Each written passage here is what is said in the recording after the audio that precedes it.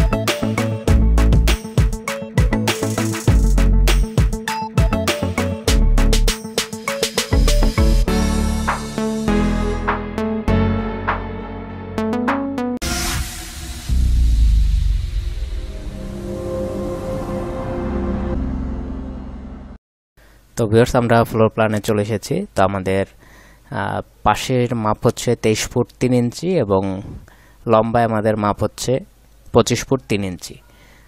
তো আমাদের প্রবেশে প্রথমে, দিক থেকে প্রবেশেই রয়েছে প্রথমে ড্রয়িং ডাইনিং তো ড্রয়িং ডাইনিংয়ের সাইজ হচ্ছে আমাদের পাশে হচ্ছে এগারো ফিট এবং লম্বায় হচ্ছে আমাদের ষোলো ফিট তো ছোটোর ভিতরে আমাদের একই সাথে ড্রয়িংয়ের সোফা সেট ছোটো করে এবং ডাইনিংয়ের জন্য ডাইনিং টেবিল, ছোট ডাইনিং টেবিল এপাশে সাজানো হয়েছে। যেহেতু এটি একটি ছোট বাড়ি, তাই ছোটোর ভিতরে কম আসবাবপত্রের ভিতরে সাজানো হয়েছে। তো ড্রয়িং ডাইনিংয়ের সাথে আমাদের একটি কমন টয়লেট রয়েছে ও একটি কিচেন রয়েছে। তো কমন টয়লেটের সাইজ হচ্ছে আমাদের, পাশে হচ্ছে চার ফুট ছয় ইঞ্চি এবং লম্বায় হচ্ছে ছয় ফুট। এবং কিচেনের মাপ হচ্ছে পাশে ছয় ফুট এগারো ইঞ্চি এবং ছয় ফুট এক ইঞ্চি সরি ছয় ফুট এক ইঞ্চি এবং লম্বায় হচ্ছে ছয় ফুট। এপাশে আমাদের দুইটি বেডরুম বেডরুম রয়েছে। তো বেডরুমের মাপ দুইটি সেম সেম রয়েছে। পাশে আমাদের এগারো ফুট রয়েছে এবং লম্বায় বারো ফুট এবং এই বেডরুমও পাশে এগারো ফুট এবং লম্বায় বারো ফুট রয়েছে। তো এই ছিল আমাদের ফ্লোর প্ল্যান তো এবার আমরা খরচ হিসাব জেনে নেব। তো ভিউয়ার্স এই বাড়িটি কমপ্লিট করতে কি পরিমাণ ইট, বালি সিমেন্ট রড দরজা, জানালা, পরিমাণ খরচ হিসাব আমাদের এখানে তুলে ধরা হয়েছে। তো এই বাড়িটিতে আমাদের এগারো হাজার পিস ইট প্রয়োজন হবে। দশ টাকা প্রতি ইটের দাম ধরে এক লক্ষ দশ হাজার টাকা আমাদের ইটের জন্য খরচ যাবে। সিমেন্টের জন্য আমাদের একশো সত্তর ব্যাগ সিমেন্ট প্রয়োজন হবে। চারশো সত্তর টাকা ধরে উনআশি হাজার নয়শো টাকা সিমেন্টের জন্য প্রয়োজন হবে। সিমেন্ট স্যান্ডের জন্য আমাদের চারশো সিএফটি বালি প্রয়োজন হবে। সতেরো টাকা প্রতি সিএফটি ধরে ছয় হাজার আটশো টাকা বালির জন্য খরচ যাবে। রডের প্রয়োজন, রড আমাদের চারশো কেজি প্রয়োজন হবে। সত্তর টাকা কেজি ধরে আঠাইশ হাজার টাকা আমাদের রডের জন্য প্রয়োজন হবে। আমাদের চারটি দরজা রয়েছে। চারটি দরজার জন্য আমাদের আটচল্লিশ হাজার টাকা খরচ যাবে। জানালা আমাদের ষাটটি রয়েছে। গ্রিল এবং থাই গ্লাস সহ আমাদের বাহান্ন হাজার টাকা খরচ যাবে।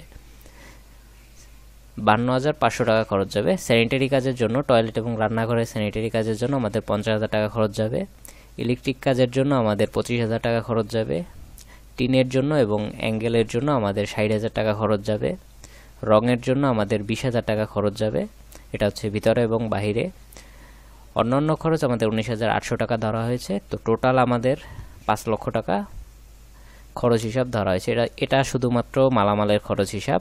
তো আপনারা যদি মিস্ত্রি খরচ ধরতে চান, তাহলে আরও দেড় লাখ টাকা আপনাদের মজুরি খরচ যাবে। তো টোটাল আপনারা ধরতে পারেন ছয় লক্ষ পঞ্চাশ হাজার টাকা আপনার এই বাড়িটি কমপ্লিট করতে একদম মজুরি খরচ এবং মালামাল নিয়ে টোটাল খরচ যাবে।